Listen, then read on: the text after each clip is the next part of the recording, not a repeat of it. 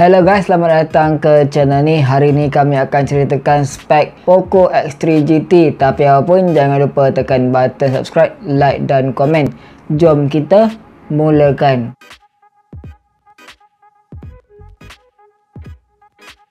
Tanpa bermasa kami mulakan dengan display terlebih dahulu. Poco X3 GT menggunakan panel IPS LCD 90Hz HDR10 450 nits 6.5 inci beresolusi 1080 x 2400 pixel 105.2 cm 20.9 ratio 84% screen to body ratio berserta Corning Gorilla Glass 3. Bateri Poco X3 GT sebesar 5000 mAh, 67W fast charging, USB power delivery 3.0.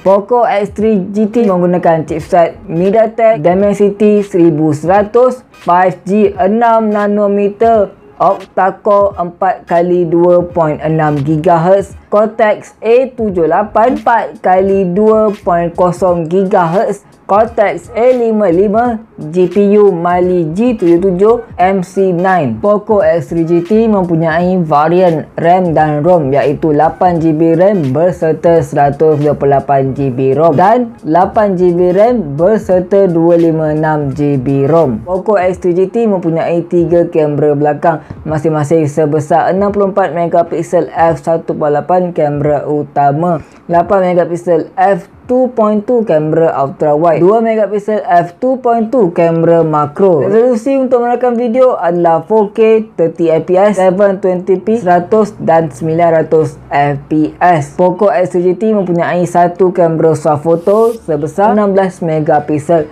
f2.2 resolusi untuk merakam video adalah Full HD Plus 30 fps 720p 100 dan 900 fps Poco X3 GT dilancarkan pada 28 Julai 2021 rekaan belakang bagi Poco X3 GT diperbuat daripada plastik manakala frame juga diperbuat daripada plastik. Speaker pada Poco X3 GT dihatangkan dengan stereo speaker by JBL Poco X3 GT juga tidak didatangkan dengan 3.5mm jack audio. Korang kena belilah adapter 3.5mm jack audio to type C. Poco X3 GT didatangkan dengan network GSM, HSPA, LTE dan 5G, 2 band, 3 band 4 band dan 5 band. Poco X3 GT didatangkan dengan Wi-Fi, dual band direct hotspot berserta Bluetooth 5.2 dan infrared sensor berserta radio FM. Sistem keselamatan Poco X3 GT didatangkan dengan side mount fingerprint berserta face unlock. Sistem operasi dijana dengan antara muka MUI 12.5, Poco Launcher berserta Android 11. Poco X XGT mempunyai pilihan warna seperti Wave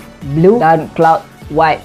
Harga bagi Poco X3 adalah RM1,299 bagi ROM 128GB manakala RM1,599 bagi ROM 256GB. So itulah sahaja untuk video kali ini. Kita jumpa lagi di minggu hadapan dengan video yang lain.